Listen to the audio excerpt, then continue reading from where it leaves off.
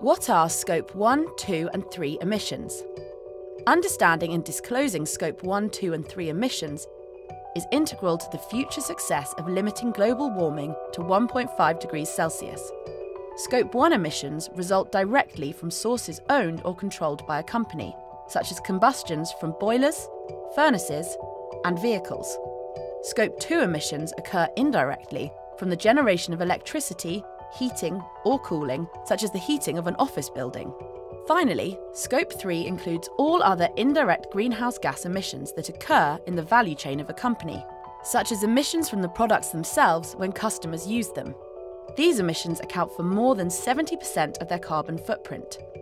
Scope 3 also includes financed emissions associated with lending and investment activities, and are more than 700 times higher, on average, than a financial institution's direct emissions.